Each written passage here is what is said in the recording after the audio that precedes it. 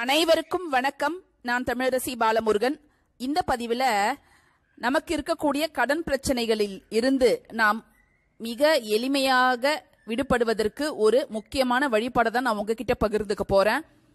அதாவது இந்த கடனும் நோயும் நம்மளுடைய கர்ம வினைகளால் தான் நமக்கு ஏற்படுது. ஒருத்தருக்கு வாழ்நாளில் பிரச்சனை ஏற்படுதுன்னா அதுக்கு முக்கிய காரணம் ராகுவும் கேதுவும் தான் அப்படின்னு உங்க எல்லாருக்குமே தெரியும். இந்த பிரச்சனையிலிருந்து நாம் வெளிவருவதற்கு நாம் பல்வேறு வழிமுறைகளை பின்பற்றுகிறோம். மைத்ரேயி முகூர்த்தத்தில் பணம் எடுத்து வைக்கிறோம். செவ்வாய்க்கிழமைக்கு வந்து போயிட்டு நம்ம கடன் வாங்கணும் கிட்ட கடன் கொடுக்கறோம். அதே மாதிரி சனிக்கிழமையில போயிட்டு கடன் வாங்கணும் கிட்ட கடனை திருப்பி கொடுக்கறோம். அதே மாதிரி கொடுக்குற பட்சத்தில் நம்முடைய கடன் எவ்வளவு தொகையாக இருந்தாலும் அது கூடிய சீக்கிரம் தீர்ந்துடும். அந்த கடன் சுமையிலேருந்து நம்ம வெளியே வந்துடலாம் அப்படின்னு நம்ம நிறைய வழிபாடுகள் செய்யறோம்.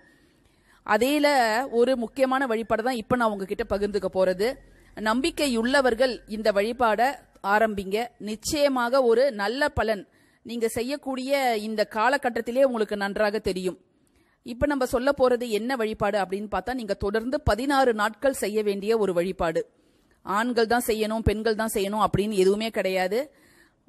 முடிஞ்ச நாட்களில் பெண்கள் செய்யலாம். அவங்களுக்கு முடியாத நாட்களில் வீட்டில் இருக்கக்கூடிய ஆண்களும் இதை செய்யலாம். அதனால் நீங்கள் தாமதிக்காமல் நீங்கள் வந்து ஒரு நல்ல நாளாக இப்போ புதன்கிழமைனா புதன்கிழமையே பார்த்து நீங்கள் வந்து ஆரம்பித்து இந்த வழிபாடை பண்ணுறது அப்படிங்கிறது ரொம்ப ரொம்ப நல்லது.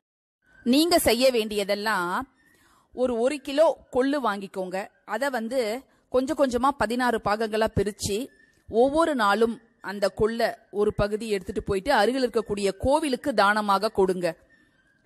நீங்க கொஞ்சம் போய் தானம் அப்படிங்கிற பேர்ல கொள்ள கோவில்ல கொடுத்தாலே போதுமானது. நம்ம எல்லாருக்குமே தெரியும் ஒவ்வொரு கிரகத்துக்கும் ஒவ்வொரு நவதானியம் உரியது.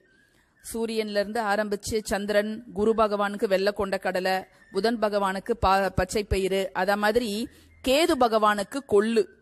இந்த கேது பகவானை வழிபட்டுட்டு நம்மளுடைய கடன்கள் எல்லாம் கூடிய சீக்கிரத்துல தீரணும் அப்படிங்கறத வேண்டிக்கிட்டு இந்த கொள்ள நம்ம பதினாறு நாட்கள் அருகில் இருக்கக்கூடிய கோவிலுக்கு தானமாக கொடுக்கும் பட்சத்தில் உங்களுடைய கடன் எவ்வளவு பெரியதாக இருந்தாலும் இல்ல எவ்வளவு பண நெருக்கடி சிக்கல்ல நீங்க இருந்தாலும் அதுல இருந்து கூடிய சீக்கிரம் வெளியில வந்துடலாம்.